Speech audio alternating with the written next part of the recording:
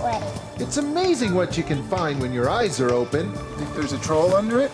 There always seems to be a little adventure kicking around. All you have to do is look for it. Let me share a secret recipe.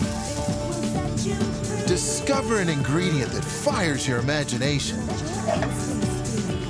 Choose other flavors to match. Find the best way to cook them. My secret recipe? Cooking without a recipe.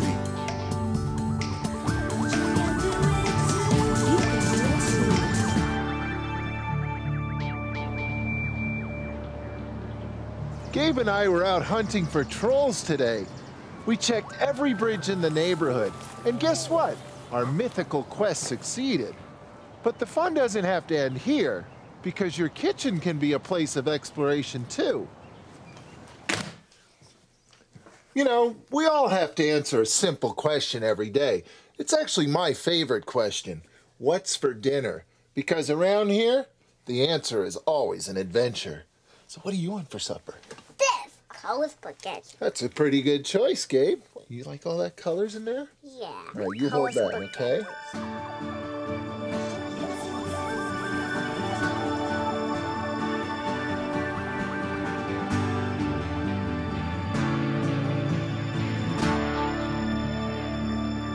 Gabe in the kitchen is an adventure in itself, but even when he's not here, this is still a playground for big kids. I guess it's my turn to pick something for dinner now. Obviously, a pasta sauce. But of course, I won't need a recipe for that. Not that there's anything wrong with recipes, I'm actually inspired by them all the time. But at the end of the day, the recipe writer and that guy you saw on TV, they won't be coming to dinner. So instead, try stirring your own ideas into a recipe. And a pasta sauce is a great place to start. Because with ingredients like these, tomatoes and clams, you can't go wrong. But keep in mind, a great sauce has three basic parts a body, a base of some kind, some garnishes, and something aromatic. Now, these are definitely the body today. And to aromatize that sauce, I'll definitely stir in some onions, some garlic. But for a garnish, I always like to stir bacon into my clam sauce. Now, normally I would use olive oil to brown off these onions and garlic a little bit, add some extra flavor to them. But since I'm going to stir bacon into this sauce today, I might as well take advantage of its flavorful fat and use that fat to brown off the onions.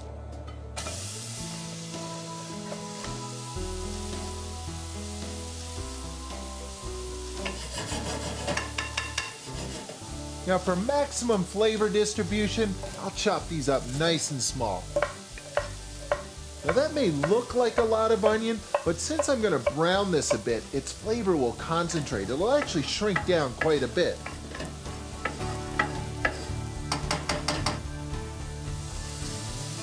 Now one nice thing about adding the onions at this point is that all the moisture in them will dissolve all those little brown bits on the bottom of the pan. I think it's time for some garlic. So at this point, I'll simply stir the garlic until I can smell it, until it gets to know all those brown flavors. It's time for some tomatoes and clams. You know, when I'm making pasta sauces, I actually prefer the right flavor of canned tomatoes. And even though I live on Prince Edward Island, I prefer the convenience of canned clams.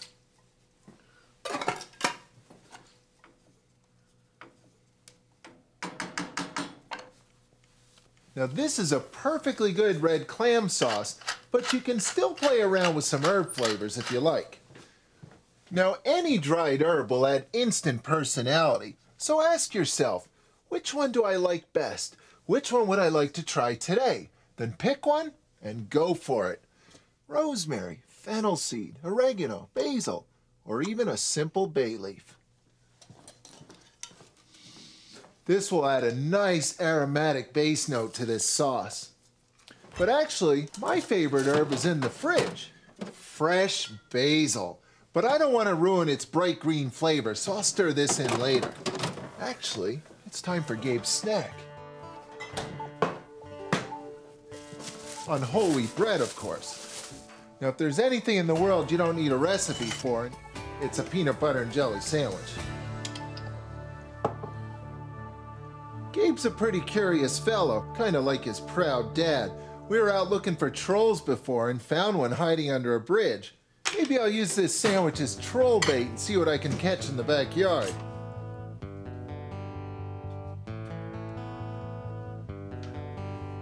That looks like it'll do the trick.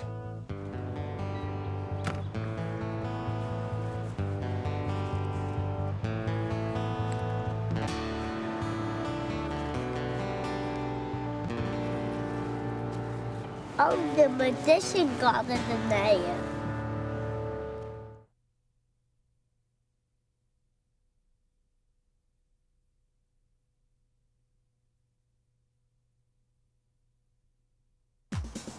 Everywhere we looked today, Gabe and I found lots of adventure, Daddy, there's a troll down here.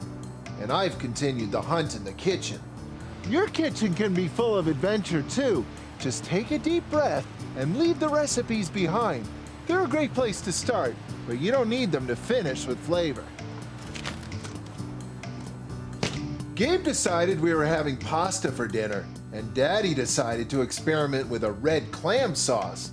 After browning bacon and onions, I added garlic, canned tomatoes, and canned clams. Now, if you're into kitchen adventure, a great way to find it is to look at an old familiar ingredient in a new light, like Parmesan cheese.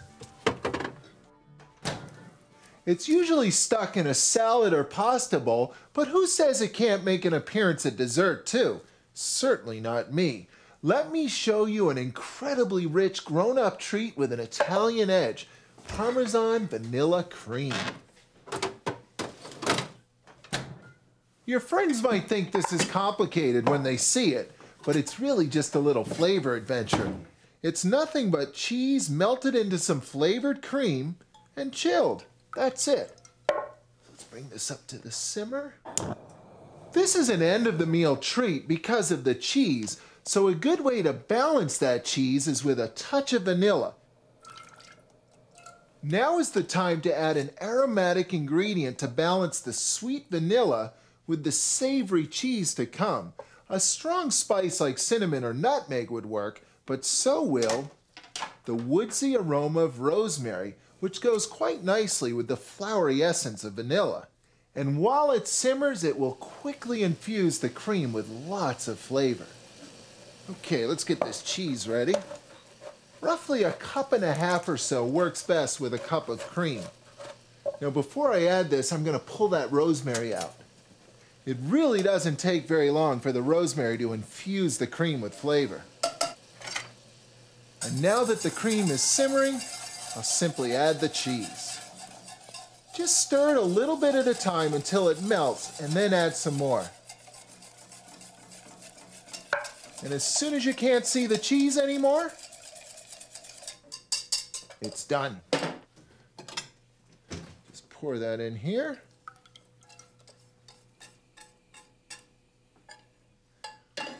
And then simply refrigerate it until it's nice and firm.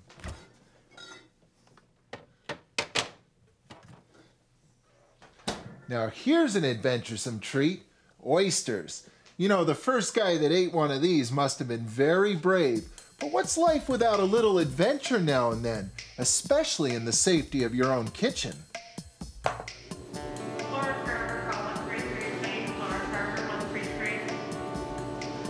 Have to admit, sometimes there are some pretty strange things on my shopping list.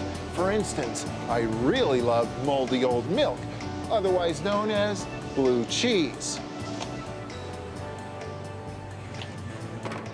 There are two things that will turn you off to food in a heartbeat, and surprisingly, taste isn't one of them. Instead, perception and texture play a much bigger role than flavor when your mind decides whether you're going to like something or not. I can't tell you how many guests I've met who rave about foie gras until they realize it's duck liver. Sometimes ignorance is bliss, but perception is not always reality. I've also talked many a squeamish friend into trying their first oyster. Usually, they can't get the second, third, and fourth one down fast enough. But if I've learned anything as a chef and a dad, it's this. Don't mess with texture. Gabe will eat elephant ears and shark eggs, but if I don't leave his favorite spaghetti sauce just a tiny bit chunky, or if I substitute chunky peanut butter in his favorite sandwich, well, let's just say that having a three-year-old food critic at the table is always an adventure.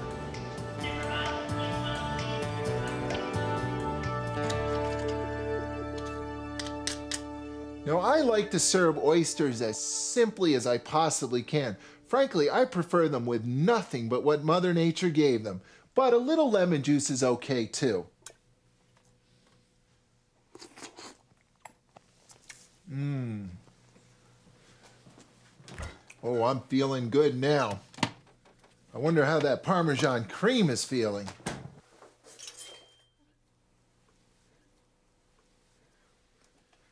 But doesn't that look like ice cream? I think this needs a savory syrup.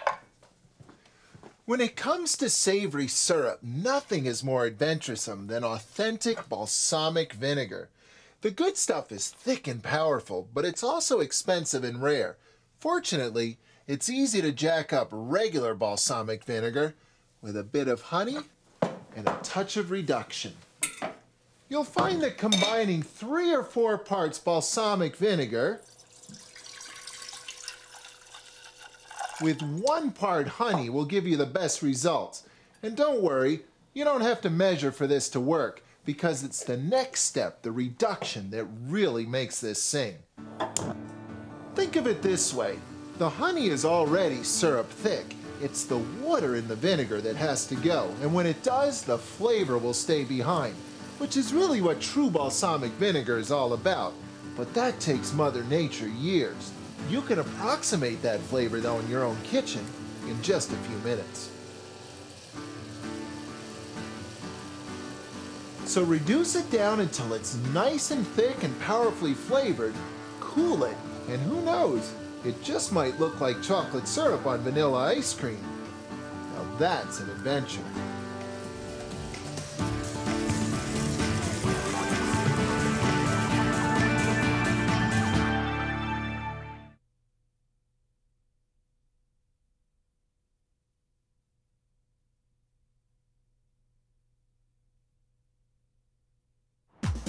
There's adventure around all of us, all the time, especially if we see the world through the eyes of a child.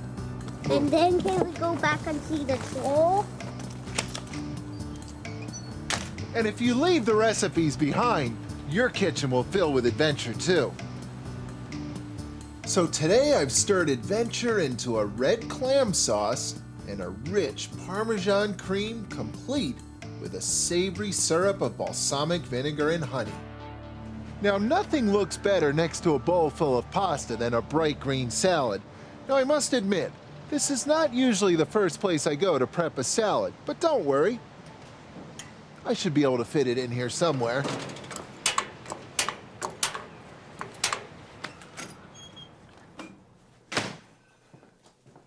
Like Senor Caesar, who just might be the world's most popular salad. So let's see. I'll need some romaine lettuce.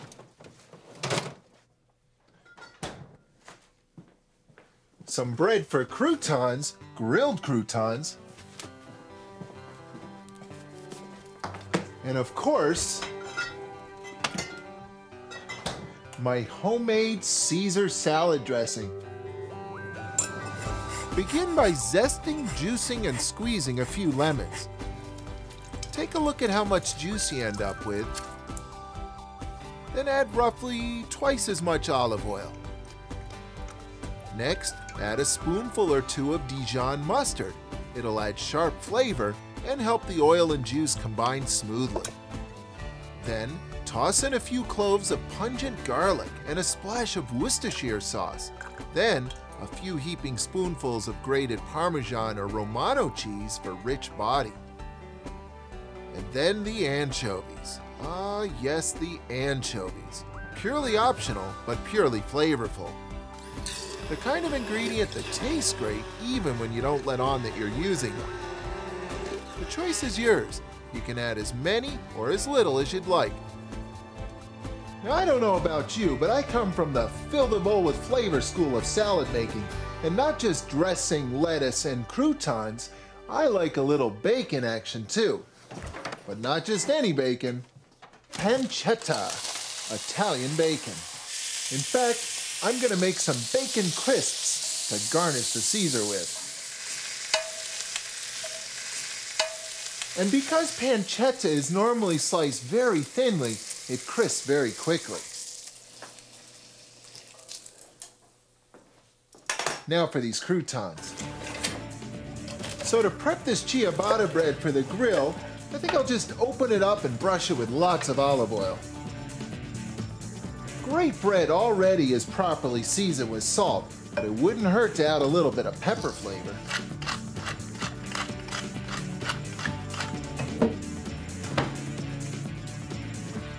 Let's get grilling.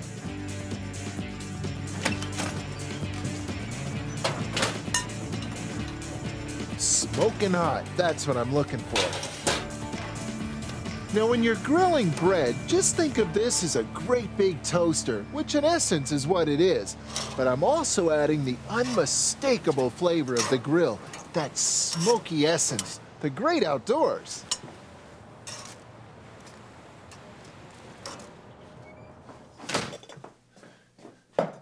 Okay, let's put all this together. Actually, that grill is still smoking hot, and there's no reason I couldn't add some grilled flavor to romaine, too. I think that's exactly what I'm going to do, which is actually very simple. I'll brush it with olive oil, but unlike bread, romaine lettuce doesn't have salt in it, so of course a little bit of salt and some pepper. This is going to be grillicious. I love grilling vegetables, and romaine really is just another vegetable. But it is kind of delicate, so I guess the idea is to get it on the grill and get it off the grill pretty quickly. Well, it looks like it's ready to flip. I guess I'm just gonna have to trust my instinct on this one. It smells great, actually. It sort of reminds me of a burning leaf pile in the fall.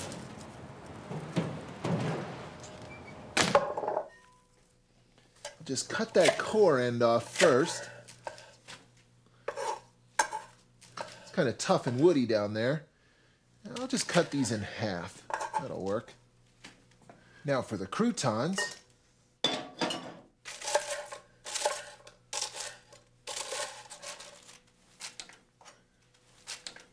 Now for that pancetta. I could use just a touch more color. I love the raw pungency of red onion in salads. It's not too sharp, but it's got a lot of flavor.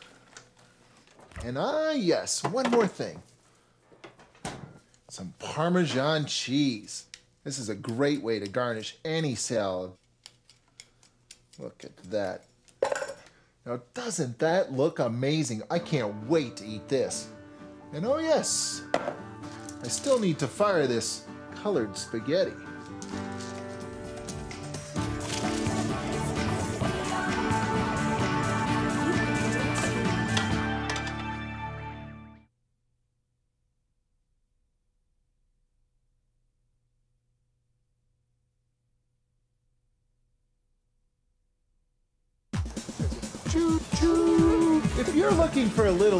Adventure in your world, you really don't have to go any further than your kitchen, especially if you think of recipes as a place to start, not to finish. Like this Caesar salad, for instance. I've made Caesar salads hundreds of times, but I never thought to grill the romaine before. Now this Parmesan cream is looking good too. Now, I've never actually finished this with balsamic honey syrup before, but I know this is going to look good. That looks really cool. It looks exactly like an ice cream sundae. I wonder if Gabe will go for it. We'll see how adventuresome he is today. And I'm looking forward to finishing off this red clam sauce with some bright green basil flavor, which I always add at the last second to preserve its pungency. Look at that. red clam sauce, basil scented. Okay.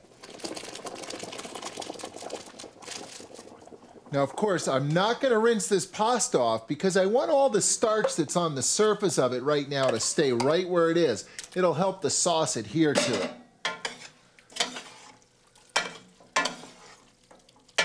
Red clam sauce with green, orange, white, and red pasta.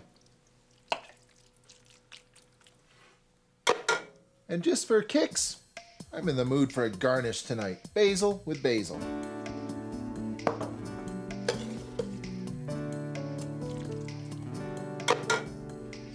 Likes a little basil on his too. Let's see how this turned out. I want to try some of that basil. Perfect. It's still nice and bright. You know, you can fill your kitchen with adventure too. It's easy. Just leave the recipes behind and let your imagination run wild. But remember, keep it simple and have fun. Because after all, the best cooks curious cooks. This is my favorite, Daddy. Is this your favorite? Yeah. Orange one? Yeah, I like the orange one. That's called pancetta. No, bacon. Oh, it's bacon, is it? I thought it was pancetta. Bacon. Oh, what do I know anyway? You want to try one? They're yummy. No. I understand. Look, it's vanilla ice cream with chocolate sauce. I don't like. Now you mean. You can't win them all. Cheers. Here's to adventure.